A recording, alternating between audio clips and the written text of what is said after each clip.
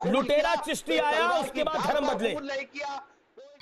हज़रत ख्वाजा मोइनुद्दीन चिश्ती अली रहमा के चाहने वाले सिर्फ़ हिंदुस्तान ही में मौजूद नहीं बल्कि और दूसरे ममालिक में भी मौजूद हैं। हज़रत ख्वाजा मोइनुद्दीन चिश्ती अली रहमा एक ऐसी शख्सियत का नाम है एक ऐसी हस्ती का नाम है जिसके चाहने वाले सिर्फ़ मुसलमान ही नहीं, बल्कि और दूसरे मजाहिब के लोग, हज़रत ख्वाजा मुद्दीन चिश्ती पाक से वाकिफ हज़रत ख्वाजा मुद्दीन चिश्ती के मज़ार अकदस पर मुसलमानों से ज़्यादा और दूसरे मजाहिब के लोग नज़र आते हैं। आखिर ऐसा क्यों कोई शख्स पागल तो नहीं कि वो अपने वक्त को जाय करके हज़रत ख्वाजा मुद्दीन चिश्ती अली रहमा की बारगाह में हाजिरी दे, लाखों रुपया खर्च करके गाड़ियों में सफ़र करके हज़रत ख्वाजा मुद्दीन चिश्ती अली रहमा की बारगाह में हाजिरी देते हैं। हज़रत ख्वाजा मुद्दीन चिश्ती अली रहमा की मज़ार अकदस पर जो लंगर आम बांटा जाता है, ये सूफिया ने कराम का ये सूफिया ने कराम का अकीदा रहा, बुज़ुर्गों का अकीदा रहा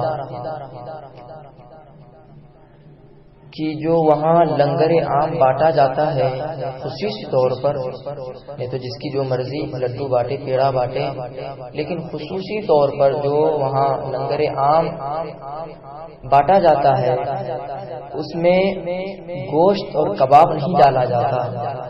क्यों? इसलिए कि उसमें दूसरे मजाहिब के लोगों की भी फ़िक्र की जाती है। दूसरे मजाहिब के लोगों का भी ख्याल रखा जाता है।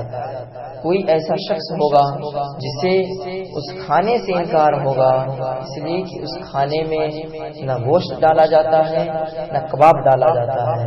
हजरात, अब हज़रत ख्वाजा मुद्दीन चिश्ती अली रहमा ने अपनी पूरी ज़िंदगी, दरवेशी की ज़िंदगी गुजार दी। हज़रत ख्वाजा गरीब नवाज़ अली रहमा आज तक किसी को तकलीफ़ नहीं पहुंचाई। मुसलमान तो मुसलमान, किसी दूसरे मजाहिब के लोगों पर भी उंगली नहीं उठाई। आप सीरत ख्वाजा गरीब नवाज़ मुताला करें तो पता चलेगा, मालूम होगा। कि हज़रत ख्वाजा गरीब नवाज़ अली रहमान की शान क्या है? लेकिन हाल ही में